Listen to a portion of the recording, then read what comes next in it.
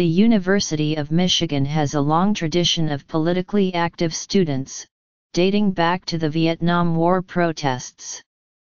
That is why Edie Goldenberg, a political science professor there, was shocked to learn the percentage of students at the school who cast ballots the last midterm election, just 14%. It was a wake up call, Dr. Goldenberg said.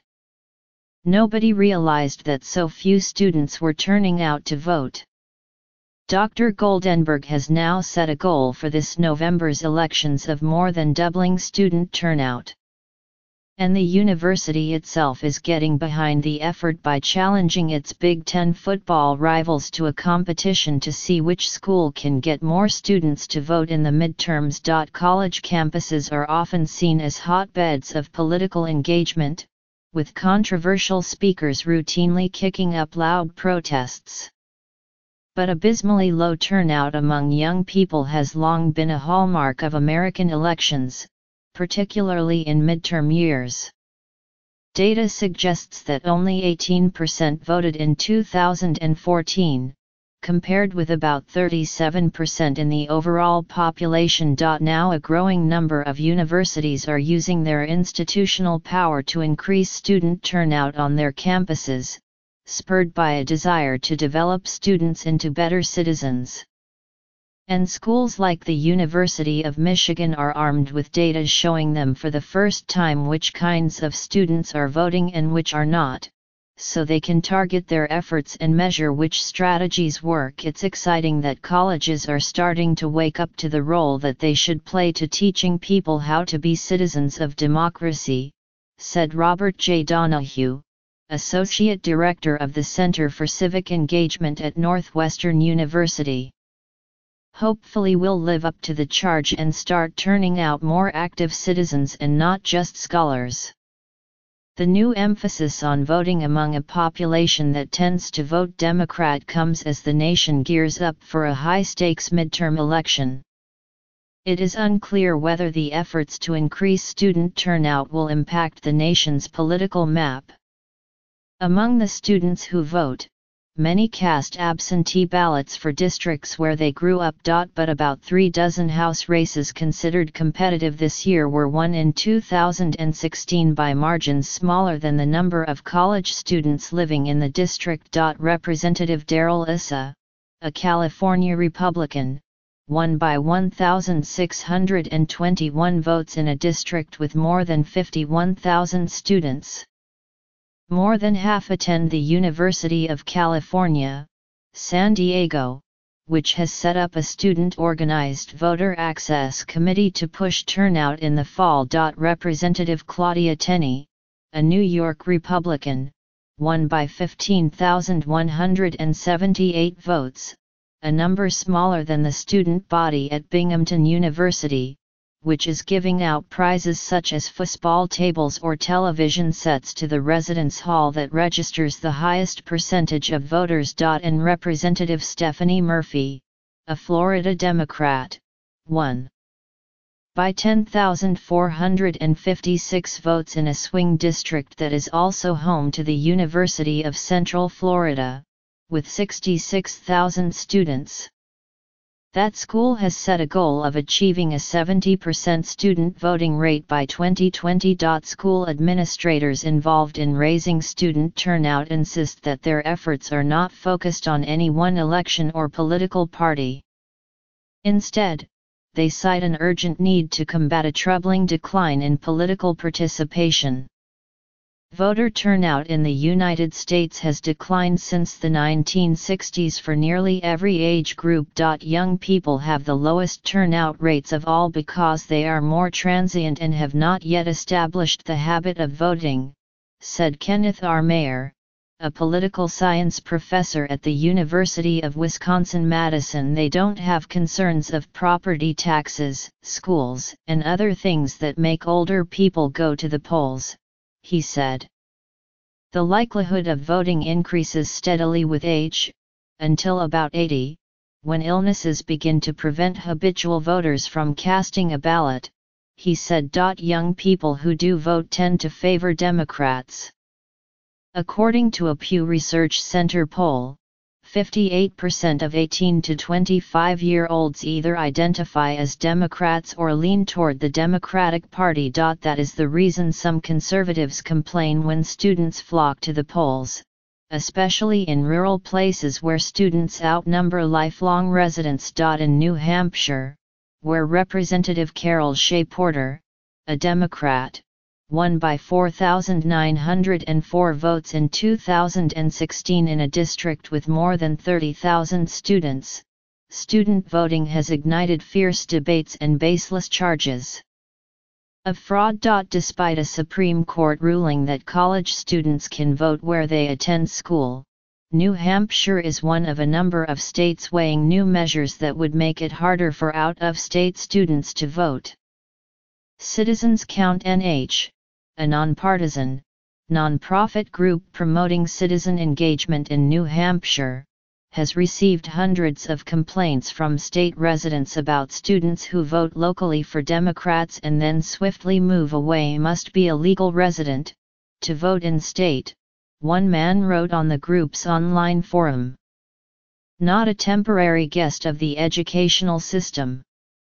School administrators say they are simply encouraging civic participation, and many make no distinction between students who vote locally or absentee.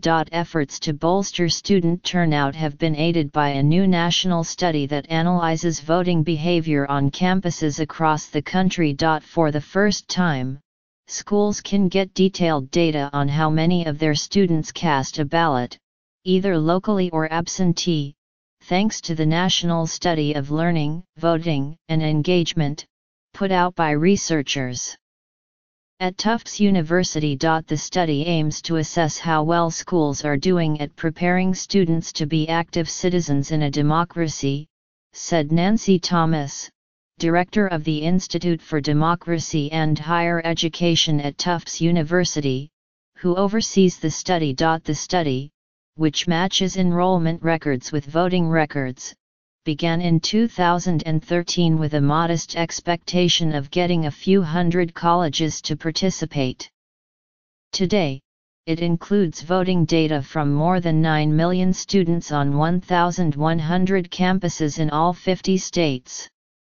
Identifying information has been removed from the data to protect students' privacy. The data has unearthed a series of fascinating insights about the 2016 elections. Social science majors had higher turnout than math and science majors 53% versus 44%. Female students had higher turnout than males 52% versus 44%. Asian students turned out at a far lower rate than their peers, 31% versus 53% for white students, 50% for black and 46% for Hispanic. This initiative will hopefully motivate educators to teach students across disciplines why they should not take democracy for granted, Dr. Thomas said. In the last election, there were big increases in student turnout in New York, Massachusetts, and Pennsylvania, but declines in Georgia, Wisconsin, and Mississippi. Some campuses have especially low turnout rates for instance, only 30% of eligible voters during a presidential election year while others have rates as high as 70%. Student turnout nationwide was 49% versus about 60% overall. The emergence of data has also led schools to compete with one another over voter turnout, which is increasingly seen as a proxy for a politically engaged student body. 2 College athletic conferences have begun giving out trophies to the schools with the highest voter turnout and the most improved turnout, based on the data generated by the Tufts study. A new initiative called the All-in-Campus Democracy Challenge offers awards to schools that stand out in civic engagement. And this year, for the first time, Washington Monthly magazine intends to include voter turnout rates in its college rankings. The Tufts study affirmed the efforts of campuses that had already made civic engagement a priority. The University of Missouri St. Louis held a series of forums about race, equity, and trauma in the wake of the 2014 shooting of Michael Brown, a black teenager, in Ferguson, MO. In 2016, 67% of students there turned out to vote on these campuses with high voting rates. They talk politics all the time, Dr. Thomas said. Students say I see myself as a voter. Not I voted today, but I am a voter. It is an identity. And at Northwestern University, which incorporated voter registration into orientation for new students in 2011, over 91% of students were registered to vote. In 2016, 64% of Northwestern students cast ballots, up from 49% in 2012. But at other universities, the Tufts study set off soul searching and outrage. At Furman University in South Carolina, just 24% voted in the 2012 elections and only 8% voted in the midterms in 2014. I saw our numbers were really low, said Suleiman Ahmed, a Furman student who spearheaded the efforts on campus to increase turnout as part of a voting competition among the Southern Conference. The Son of Pakistani immigrants who moved to South Carolina in the 1970s, Mr. Ahmed said he got involved in the voting challenge to counteract the anti-Muslim rhetoric of the recent presidential election and to humanize Muslims at his school. But in the effort to increase voter turnout among his classmates, he faced an unusual obstacle. The Greenville County Board of Voter Registration and Elections refused to register out-of-state students unless they filled out a special questionnaire that asked about ties to the local community, including church membership and whether their parents claimed them as dependents on income taxes. Mr. Ahmed and two of his friends filed a lawsuit challenging the practice, with the help of the American Civil Liberties Union. A judge ruled in their favor, reversing a 1973 ruling in a similar lawsuit filed by Furman students. In 2016, Furman's turnout increased to 30%. Looking ahead to this fall, colleges and students are beginning to plan activities to bolster their voting rates. At Arizona State University, staff are hoping to hire musicians to perform for students waiting in line to vote to generate excitement around the election.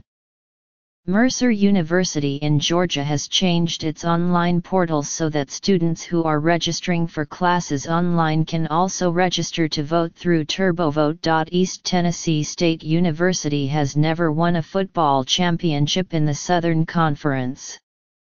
But in October, in a ceremony on the football field, the school received a trophy for most improved turnout.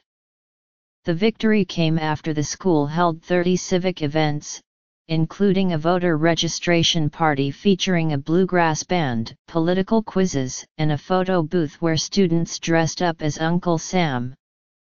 Voting rates rose from 38% in 2012 to 47% in 2016. Now Nathan Farner, a senior at the school, has been hired temporarily by the university to increase student interest in the coming midterms. In a county where just 27,612 people cast ballots in 2014, the school's 15,000 students could hold a lot of sway if they turned out to vote. A lot of people don't participate in midterm elections, because they don't see what the point is, Mr. Farner said. But if students really wanted to campaign, they definitely have a lot of bargaining power.